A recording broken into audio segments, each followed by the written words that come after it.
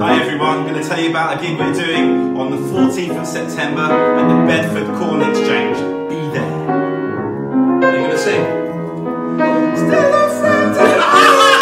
Oh, still a friend of mine. Still a friend of mine. Still a friend of